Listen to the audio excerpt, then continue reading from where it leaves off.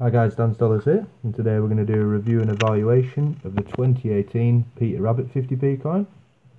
On the back of the coin there is a portrait of Queen Elizabeth II and the year 2018. On the front of the coin there it says Peter Rabbit, and there he is himself munching on some radishes. The Peter Rabbit 50p coin proved extremely popular with collectors, and this is the third of the Peter Rabbit 50p in circulation.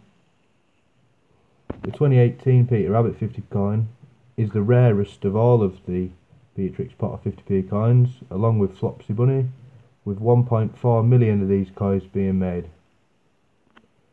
So how much is it worth? Well, this along with Flopsy Bunny are currently worth 6 to 8 pounds and are definitely worth keeping hold of, with it being nearly half as many minted as Jemima and that sells for 10 to 12 pounds on eBay. I would think in a couple of years this coin could be worth 15 to 18 pounds. Comment below if you've got this coin and thank you very much for watching.